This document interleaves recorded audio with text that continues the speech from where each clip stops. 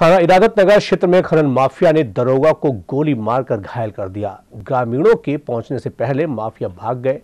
घायल दरोगा का अस्पताल में इलाज चल रहा है। थाना इरादत नगर क्षेत्र में बालू से भरा ट्रैक्टर रोकने पर खनन माफिया का दरोगा निशामक त्यागी से विवाद हो गया। देखते ही देखते मामले ने तूल पकड़ लिया। पुलिस का कहना है कि हाथापाई होने के बाद माफिया ने दरोगा को गोली मार दी। पैर में गोली लगने के बावजूद भी दरोगा निशामक त्यागी माफिया से जूझता रहा। जानकारी होने पर आसपास खेतों पर काम कर रहे ग्रामीण पहुँचे तो माफिया भाग खड़े हुए। सूचना पर पहुँची पुलिस ने घायल दरोगा को दहली गेट स्थित एक हॉस्पिटल में भर्ती कराया, जहाँ दरोगा का इलाज चल रहा है। कितने लोग थे हमलावर जिसने आपको हमला किया? जी? था।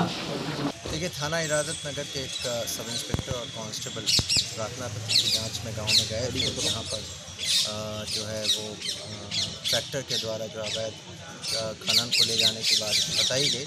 उस सूचना पर मौके पर पहुँचने पर जो है ट्रैक्टर चलाने वाले व्यक्ति ने जो फायर कर दिया जिससे हमारे सब इंस्पेक्टर के पैर में गोली लग गई। उनको उपचार कराया जा रहा है। मुकदमा दर्ज कर जो है कठोर कार्रवाई की जा रही है। जो व्यक्ति है उसकी पहचान कराई जा रही है और उसके खिलाफ जो है कार्रवाई की जा रही है। एक फ़ोटो सर आ रहा है जिसमें बताया जा रहा है कि दरोगा ने फ़ोटो खींच लिया था गोली मारने वाले का। एक फ़ोटो हमारे संज्ञान में आया उनकी पहचान कराई जा रही है और जो भी व्यक्ति है उसको आइडेंटिफाई कराकर कठोर कार्रवाई की जाएगी खनन माफिया हो या कोई भी हो अपराधी अपराधी होता है। और जो दुस्साहस कदम उन्होंने उठाया है, एक सब इंस्पेक्टर को गोली मारकर, कानून को हाथ लेने में भी काम उन्होंने किया है।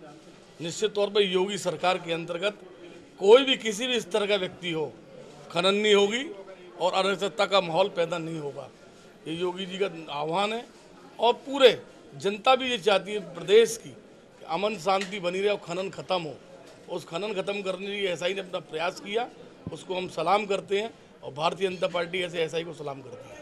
खनन को लेकर एसएसपी बबलू कुमार सख्त नज़र आ रहे हैं। एसएसपी ने खनन रोकने के लिए सीओ और थाना प्रभारियों को आदेश दिए हैं। इसके चलते पुलिस ने खनन माफिया पर शिकंजा कसना शुरू कर दिया है। आज सुबह बालू लेकर आ रहे ट्रैक्टर को दरोगा ने सदुपुरा पीपल वाले रास्ते पर रोक लिया। इसी बीच माफिया ने गोली मार दी। दरोगा को गोली मारने की खबर पर आसपास के ग्रामीणों का मजमा लग गया। पुलिस गोली मारने वाले माफिया की तलाश में जुट गई है। माफिया कई बार आरटीओ और पुलिस पर हमला बोल चुकी है। फिर भी खनन थमने का नाम नहीं ले रहा। दरोगा को गोली लगने की खबर पर भाजपा नेता हॉस्पिटल पहुँच गए। भाजपा महानगर अध्यक्ष विजय शिवहरे का कहना है कि योगी सरकार खनन माफिया के खिलाफ अभियान चला रही है। खनन माफिया पर कार्रवाई होनी चाहिए।